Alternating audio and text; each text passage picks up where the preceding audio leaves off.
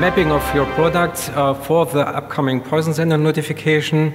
Companies should start their implementation right now. And the first step uh, towards um, yeah, preparation for the poison center notification is building up a substance or a product inventory, a product inventory, because this determines um, the necessary measures you have to um, take uh, in order to um, enable your company to file the notifications um, in time.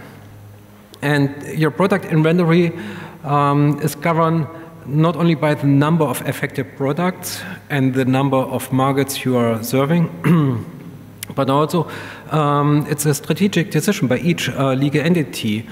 Uh, if they go for voluntary notifications and submissions on behalf of third parties, this might rise up uh, the number of your notifications, or, or and if they use the possibilities uh, of limited and group submissions, which will lower, of course, the number of notifications.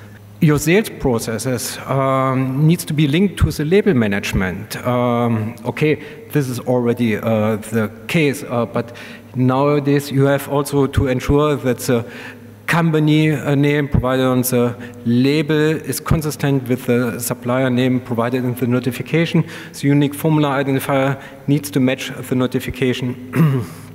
and last but not least, you have to um, yeah, set up a management of change process if the product data uh, relevant for a submission update uh, has been changed. Especially if your company has only a low number of products, it might be sufficient to use ECHA tools. We have the UFI algorithm, uh, a, tool, a UFI generator uh, provided by ECHA. We have uh, a cloud version of IUCLID, uh, which can be used without any administration um, or without any implementation effort. Um, so use these tools, enter your data there, submit them, and you are fine. At least for the notification obligations. Of course, you have to adapt later on your safety data sheets and your labels manually, properly, uh, in order to bring the unique formula identifier on, on these documents. Usually we have a dedicated master data system which stores um, data which are not uh, subject to frequent changes, namely, or for example, EHS data. You will need to implement a new uh, kind of composition in your EHS system. Otherwise, you will not be able to uh, maintain uh, the mixture in mixture component or um, um, provisions like the generic product identifier. The requirements regarding acceptable concentrations differ from existing uh, uh, schemes, like for classification. You have to implement an a rule set, an algorithm to derive the new poison center notification composition from existing um, composition information. So um, you have to transform them into the acceptable concentration ranges. Then you should also implement the UFI algorithm um, and a UFI management. Um, and if you decide uh, to go for a product-centric approach, then you need to store the UFI not only for each composition you um, are calculating, but also for the products. Uh, if each product will have a different unique formula identifier uh, in order to avoid a disclosure of the uh, similarity of, of these products or of the composition behind the products don't underestimate the effort for the label adaptations.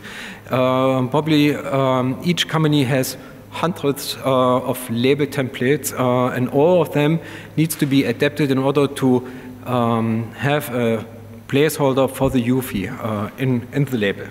Finally, you need um, to implement a kind of um, yeah, a process to or a trigger to identify the need for an initial notification and for updates as well. And we looked for the properties which are relevant for a submission update.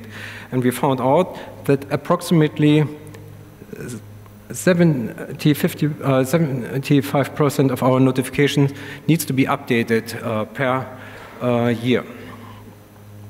And the main drivers are classification and labeling. A change of classification labeling might be triggered by changes of Annex 6, a new harmonized uh, classification, uh, which leads to either a reformulation uh, in order to avoid unwanted labeling, uh, or a change of the classification of the product itself. Or a new knowledge um, due to REACH or other regulations might trigger uh, a new classification um, of your mixture.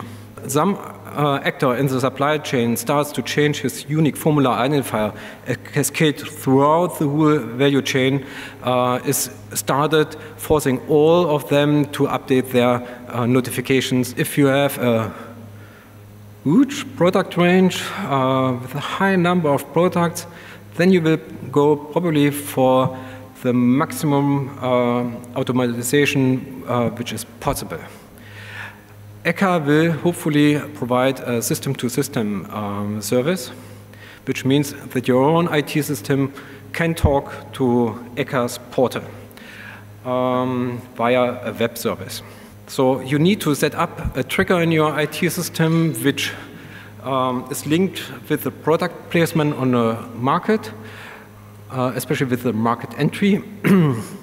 and this automatic trigger um, will bring up a data package uh, in your IT system um, with all notification relevant information. Data packages can be uh, consolidated and released um, either manually or uh, automatically, putting the data in a, let's say, in a basket for submission. This basket should be open also for manual input if you want uh, to run uh, voluntary notifications.